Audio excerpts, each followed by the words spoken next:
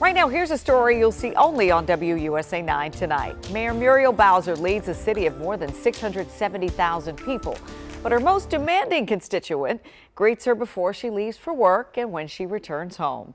The mayor adopted Miranda Elizabeth in 2018. She is a bubbly, bright-eyed, and busy one-year-old. I met the mayor a couple of weeks ago to talk about life with the first daughter and what she wants every parent to do before the start of school this year. Does that feel good? Miranda has just been a remarkable blessing to me, to my entire family, how, how my parents, uh, they just light, she lights up their world and really everybody that she encounters. Miranda was the city's best kept secret until the mayor shared her news with me last spring. She was ready to fulfill her lifelong dream of becoming a mother. I didn't really know how people would respond, but it was as if they were waiting for the first baby to come. And she, she just, she doesn't disappoint. Has Miranda helped you to be a better mayor? Everybody says so, so I have to go with that. High five.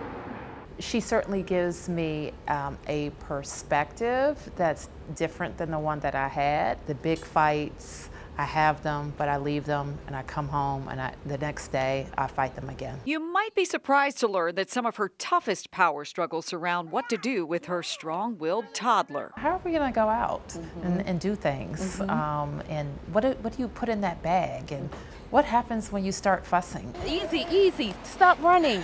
You thought running a city was hard. You you had no idea that Keeping running behind her, a little one yes. would be. She just got her gates. I just put the gates up in my house. A few weeks ago, Miranda slowed down enough to get her updated vaccinations, including that all-important MMR for measles. It's taken on increased importance with the resurgence of the once dormant disease.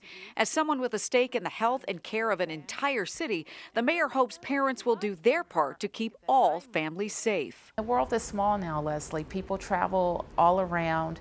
Uh, and if you are exposed just for minutes, airborne exposure to measles um, for an unvaccinated person can be very harmful and even deadly. So the mayor and the city are relaunching a summer campaign telling parents don't wait, vaccinate to raise awareness.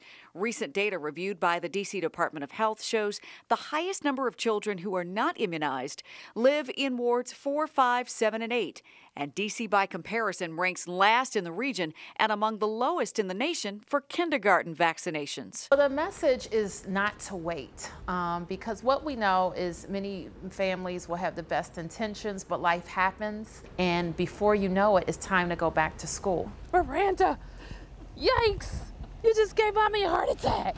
You just gave me a heart attack. You almost rolled down the hill. The goal for this year is to have every child have the same fighting chance to have a healthy start, just like Miranda, and on day one. It's a very big deal. Um, having your child in the seat at school on day number one um, can get your child on the right path for a successful year.